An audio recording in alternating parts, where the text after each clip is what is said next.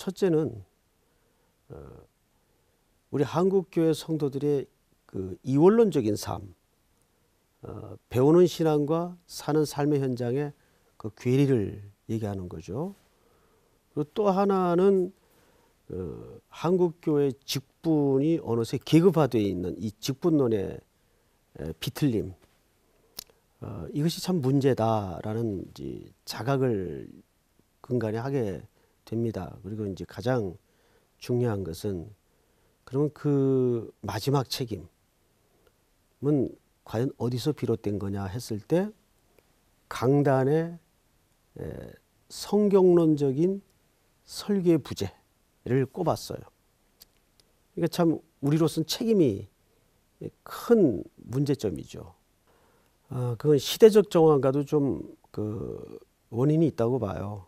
아, 한국 사회가 70년대, 80년대에 어, 잘 살아보자. 성공지향주의적인 또 고지론적인 그런 시대적 그 니드와 맞물려서 어, 강단이 전체는 아니더라도 일부 노릇을 했다. 그러니까 설교는 사실 성도들의 그 정황인 니드가 뭐냐에서부터 출발해서는 안 됩니다. 거기서부터 이미 기초가 틀려버린 거죠. 설교라는 것은 또 하나님의 말씀이라는 것은 이 고통 가득하고 문제 많은 세상을 향하신 하나님의 리드에서부터 출발을 해야 되는데 어, 오늘날 백성들이 뭘 원하는가? 이미 목적이 설정된 상황에서 거기에 설교가 꽤 맞춰지는 이런 기현상이 예, 우리도 자각하지 못하는 사이에 벌어지기 시작했습니다. 이제 세월호 3년 전 바다에 침몰한 배 안에 가두어져서 어, 숨져간 300여 명의 아이들 어, 생각만 해도 마음이 미어지죠. 그 당시 제 아들도 고등학생이었어요. 같은 부모를 어, 생각할 때, 어, 뭐 무슨 위로가 되겠습니까? 그들에게. 그 슬픔이 사겨질 때까지 우린 같이 있어주는 역할 외에는 할 역할이 없어요. 예.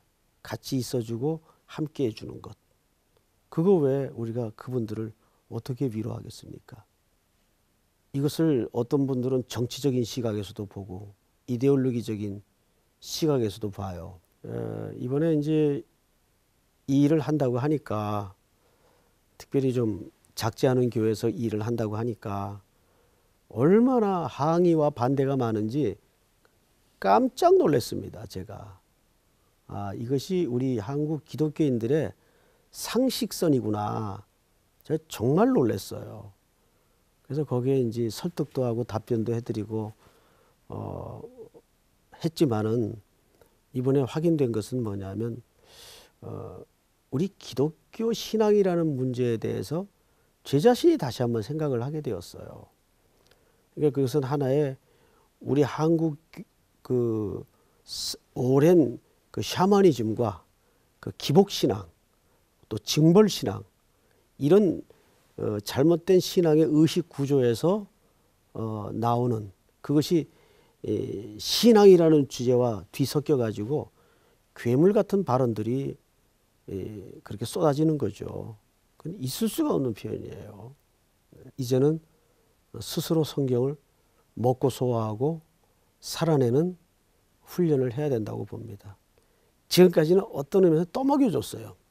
이제 숟가락 직접 잡고 스스로 말씀 속에서 하나님의 마음을 길러내고 그 길러진 생명의 물을 이제는 스스로 생활에서 어떻게 나누고 흘러보내야 될 것인가 고민하는 그 자리까지가 아, 저는 한국교회 또 저희들의 몫이고 성도들의 마지막 책임의 자리다 생각을 합니다.